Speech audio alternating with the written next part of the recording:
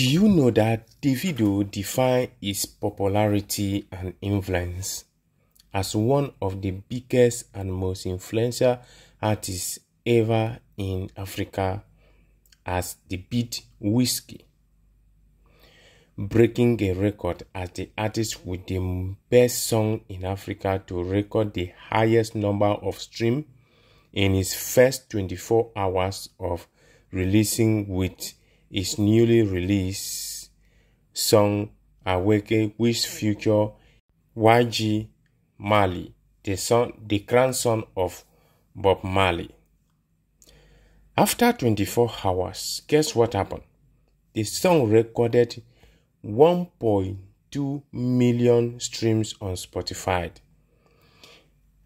making the highest songs from African to accommodate these numbers of streams in the Africa, in the entire African so far. Then Wizkid, Piece of My Heart, hold the previous record with 1 million streams within its first 24 hours of release.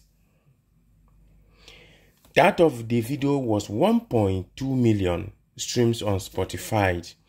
Then Wizkid in 24 hours. Then Wizkid Piece of My Heart holds the previous, that's 1 million plus stream within its first 24 hours, which is Davido now past Wizkid because it is only 24 hours, while Wizkid is more than that. In the latest update, the song has gathered 1.9 million stream in total on Spotify. That is why I say with, with um, Davido passed Wizkid for that. When Davido tweeted, them know the year you are Bedu again. He was not just tweeting for tweeting sake. For fun, it was tweeting fact.